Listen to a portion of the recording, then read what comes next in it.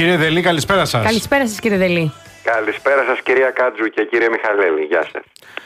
Ε, Πώς βλέπετε την αντιπαράθεση αυτή που έχει ξεκινήσει και στην ελληνική ε, και ανάμεσα στα κόμματα ε, με τα δύο θέματα τα οποία υπάρχουν. Το ένα είναι διαφορετικής φύσεως, εθνικά όμως κατά τη γνώμη μας, ε, Ροδόπη και για το ναβά, ναυάγιο με τους παράνομους μετανάστες. Να ξεκινήσουμε από το δεύτερο που είναι ένα θέμα το οποίο προφανώς λόγω της τραγικών διαστάσεων, όχι συγκινεί, συγκλονίζει τον κόσμο. Ναι, ναι, ναι. ναι, ναι σωστά. Ε, σωστά επισημαίνετε και εσείς ότι πρόκειται για δύο διαφορετικά ζητήματα, τελείως διαφορετικά ζητήματα. Με εθνικές και... διαστάσεις όμως και το ένα και το άλλο, δηλαδή ξέρετε, μειονότητες και μεταναστευτικό.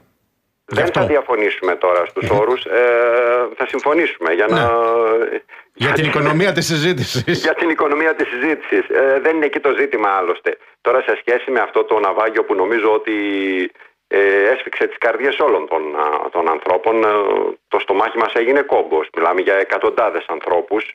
Είναι μια αδιανόητη τραγωδία κύριε Μιχαλέλη και κυρία Κάτζου αυτή και εμείς ως ΚΚΕ η τοποθέτησή μας από την πρώτη στιγμή δεν στέκεται μονάχα στο προφανές, στο, στο, στο, στο, στο τοπικό, στο, στο επιμέρους, δηλαδή στις επιχειρησιακές ευθύνες ή στις παραλήψεις ε, του λιμενικού σώματος. Τα ερωτήματα νομίζω τίθενται ε, ε, αντικειμενικά και είναι και αμήλικτα μάλιστα. Αλλά εμείς θέλουμε να δείξουμε τη μεγάλη εικόνα, κύριε Μιχάλη, γιατί ακόμα και η ρίζα αυτή, αυτών των, των πρακτικών τέλος πάντων του λιμενικού σώματος, τότε επέλεξε αυτή ή την άλλη τακτική, σχετίζεται, ε, έχει τη ρίζα της στην ε, μεταναστευτική ή μάλλον στην αντιμεταναστευτική πολιτική της Ευρωπαϊκής Ένωσης. Όμως εμείς, κύριε Μιχαλέλη, επιμένουμε να δείχνουμε τη μεγάλη εικόνα και να δείχνουμε την αιτία όλου, όλου αυτού του προβλήματος. Ποιος είναι αυτός που γεννά τους πρόσφυγες, ποιος είναι αυτός που γεννά τις πολύ νεκρές αυτές ε, τραγωδίες; Γιατί φεύγουν αυτοί οι άνθρωποι από τις πατρίδες τους, μήπως εκεί υπάρχουν πόλεμοι, μήπως υπάρχει μια εκμετάλλευση καπιταλιστική, μια φτώχεια α, α, αβάσταχτη, μήπως υπάρχουν επεμβάσεις, μήπως υπάρχουν αντιδημοκρατικά καθεστώτα, χούντες να το πω έτσι πιο απλά, τα οποία βεβαίως έχουν τη στήριξη, την αμέριστη στήριξη και της ε, Ευρωπαϊκής Ένωσης. Φυσικά και υπάρχουν όλα αυτά και νομίζουμε ότι αυτή είναι η ρίζα του κακού, αυτή είναι που οδηγεί απελπισμένους ανθρώπους να σηκώνονται, να παίρνουν μάνες με τα μωρά παιδιά τους και να ανεβαίνουν σε σαπιοκάραβα σαν αυτό για να βρούνε ε, μια καλύτερη ζωή όπως ε, πιστεύουν. Κύριε, ε, αυτή είναι η ρίζα και νομίζουμε ότι αν δεν συζητήσουμε για αυτή, αλλά φοβάμαι κυρία Κάτζου ότι ναι. αυτή τη ρίζα μονάχα το ΚΚΕ την δείχνει, ναι. την αναδεικνύει και την αντιπαλεύει, ας μου επιτραπεί. Εγώ θα συμφωνήσω μαζί σας απλώς επειδή έχει μπει στο, στην προκλητική αρένα το θέμα της τραγωδίας και αναρωτιέμαι αν αυτό που ε, συζητάμε όλοι είναι αν τους έπνιξε η Ελλάδα. Γιατί ε, άκουσα και τον, ε, εδώ, τον κύριο Μουζάλα, ο οποίος είπε ουσιαστικά ότι υπάρχουν ερωτήματα. Δεν ε, πέριψε ευθύνες στο λιμενικό, άφησε ανοιχτά τα ερωτήματα. Ο κύριος Γατάνης είπε ότι είναι άθλιο αυτό που κάνει ο ΣΥΡΙΖΑ και λέει ότι ε, τους αφήσαμε να πνιγούν και δεν τους βοηθήσαμε. Και αυτό είναι το θέμα. Ποιος έχει πνίξει τους περισσότερους, ή ότι δεν υπάρχει μια ευρωπαϊκή στρατηγική και πολιτική στο θέμα το συγκεκριμένο και έτσι θρυνούμε θύματα, ανθρώπους αθώους; Εμείς κυρία Κάτζο αυτό που λέμε είναι ότι ε, το αντίθετο λέμε από αυτό που μόλις είπατε. Εμείς λέμε ότι δεν είναι η, η, η, η μεταναστευτική πολιτική που απουσιάζει από την Ευρωπαϊκή Ένωση. Είναι αυτή που υπάρχει και είναι αυτή που εφαρμόζεται.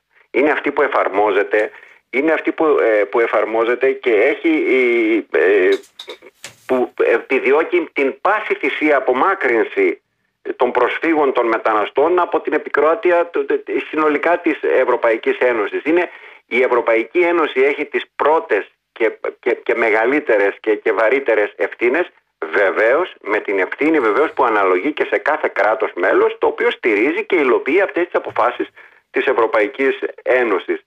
Νομίζουμε ότι σε τέτοια ζητήματα τα οποία άπτονται της ζωής του ανθρώπου στη θάλασσα νομίζουμε ότι ε, υπάρχουν όλοι, όλες εκείνες οι διεθνείς συμφωνίες, εν πάση περιπτώσει τα σύμφωνα εκείνα τα οποία προβλέπουν το τι πρέπει να γίνεται έτσι ώστε να μην χάνονται ανθρώπινες ζωές στη θάλασσα. Εμείς ποτέ δεν θα κατηγορήσουμε, ε, τέλος πάντων ποτέ δεν θα πούμε, ποτέ δεν θα μπούμε μάλλον σε αυτή τη διαμάχη που υπάρχει, ε, τη φτηνή ας μου επιτραπεί η έκφραση, η διαμάχη που υπάρχει ανάμεσα στο ΣΥΡΙΖΑ και στη Νέα Δημοκρατία.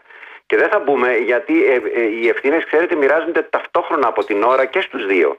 Και στο Πασόκ, με την έννοια ότι και αυτοί υλοποίησαν αυτήν την αντιμεταναστευτική πολιτική της Ευρωπαϊκής Ένωσης. Να θυμίσω εδώ την κοινή δήλωση Ελλάδα-Τουρκία, την οποία ψήφισε ο ΣΥΡΙΖΑ.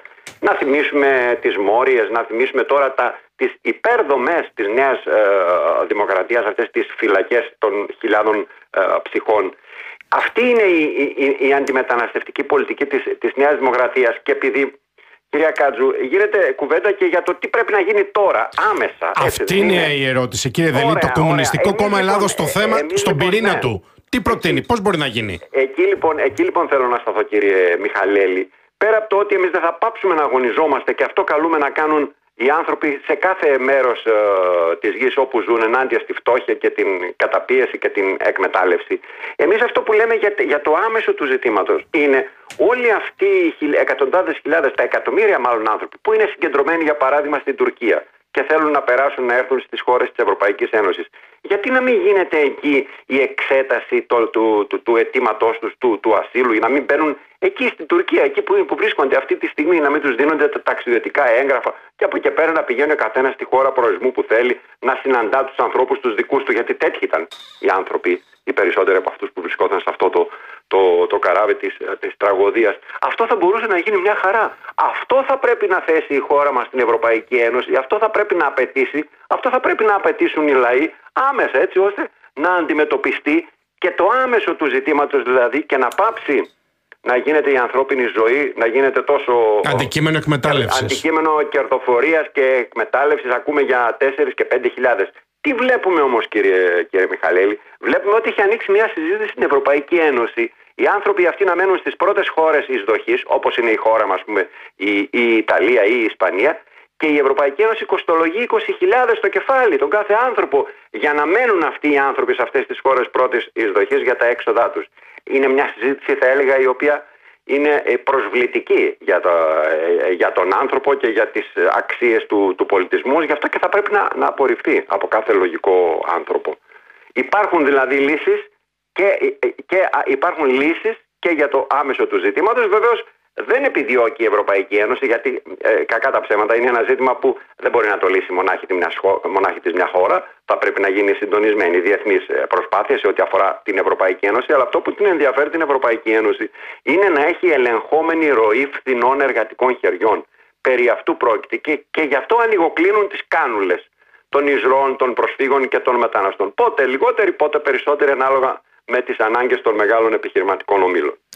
Κύριε Δελή, τελευταία ερώτηση. Ο πολιτικός στόχος του Κομμουνιστικού Κόμματος Ελλάδος την επόμενη Κυριακή, ποιος είναι, Είναι η όσο γίνεται ε, μεγαλύτερη ενδυνάμωση του ΚΚΕ, η κοινοβουλευτική του ενίσχυση, να έχει όσο γίνεται περισσότερους βουλευτές, όχι γιατί αυτοί θα κάνουν μονάχα αντιπολίτευση υπεύθυνη, σοβαρή, αξιόπιστη, με επιχειρήματα πάνω απ' όλα και χωρίς, αν θέλετε, ε, φτηνούς εντυπωσιασμούς και επικοινωνιακά σοου αλλά γιατί αυτοί οι βουλευτές, οι 26 που, είχε, που, είχε, που είχαν εκλεγεί την πρώτη Κυριακή και ελπίζουμε να είναι περισσότεροι τώρα σε την επόμενη Κυριακή θα είναι δίπλα στο λαό, θα είναι δίπλα στο εργατικό λαϊκό κίνημα, δίπλα στις κινητοποιήσεις τους, στους αγώνες του, ενάντια στην ακρίβεια, ενάντια στους πληστηριασμούς για να σώζονται σπίτια, στα εργοστάσια, εκεί, εκεί που παλεύει, ματώνει και αγωνίζεται η εργατική, η λαϊκή πλειοψηφία. Είναι κατεπήγον ο λόγος κύριε Μιχαλέλη για την αύξηση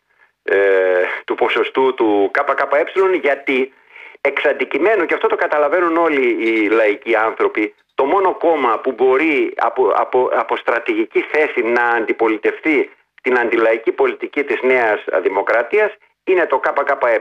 Οι άλλοι δεν το αντιπολιτεύτηκαν, δεν αντιπολιτεύτηκαν τη Νέα Δημοκρατία όταν είχαν 30 και 32%. Θα την αντιπολιτευτούν τώρα που θα έχουν 20 και 12 πόσο θα έχουν οι άλλοι. Έτσι τίθεται το ζήτημα και νομίζουμε ότι ε, την επόμενη Κυριακή ο λαός θα, θα ενισχύσει τη, τη, τη δύναμή του, την, την πραγματική του δύναμη και θα ενισχύσει και το ΚΚΕ.